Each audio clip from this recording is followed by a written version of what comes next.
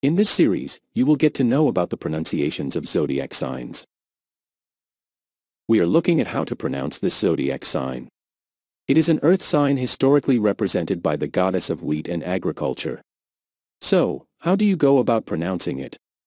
Virgo. Virgo. We are looking at how to pronounce this zodiac sign. It is an earth sign historically represented by the goddess of wheat and agriculture. So, how do you go about pronouncing it? Virgo. Virgo.